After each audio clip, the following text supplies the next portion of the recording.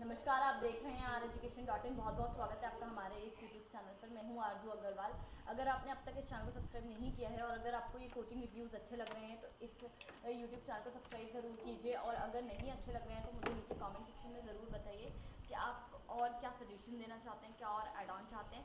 साथ ही साथ मैं आपको बता दूँ कि अगर आपको किसी भी बेस्ट कोचिंग की जानकारी वर्स कोचिंग की जानकारी ऑल ओवर इंडिया में कहीं से भी अगर आपको चाहिए तो आप आर एजुकेशन डॉट इन पर लॉगिन कीजिए। आपको यहाँ हर तरह की जानकारी मिल जाएगी।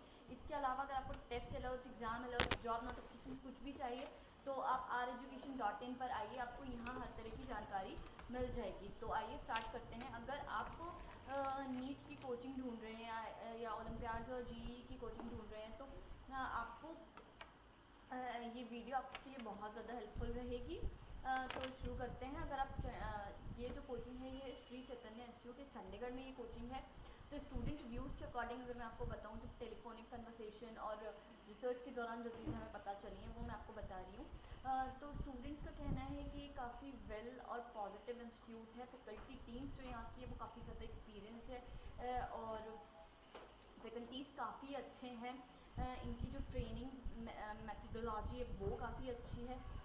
इंस्टीट्यूट जो है, अगर आप एक ये चाहते हैं कि आपको एक ऐसा इन्वायरमेंट मिले जहाँ पर आप इंजॉय करते करते पढ़ाई कर सकें तो ये उसके लिए ये इंस्टीट्यूट काफ़ी अच्छा है।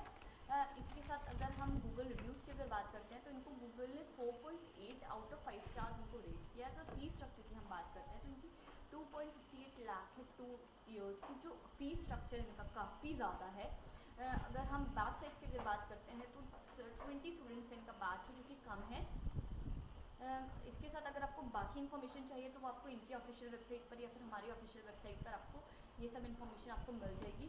अगर अच्छा हम इनके नोट्स एक बार सर्च कर लेते हैं कि इनके ऑनलाइन नोट्स अवेलेबल है या नहीं तो इनकी बुक्स वगैरह तो अवेलेबल हैं बट हाँ इनके स्टडी मटेरियल इनका अवेलेबल है यहाँ पर, आप देख सकते हैं। तो इसके अलावा अगर आपको कोई और इन्फॉर्मेशन चाहिए तो मुझे यहाँ नीचे कमेंट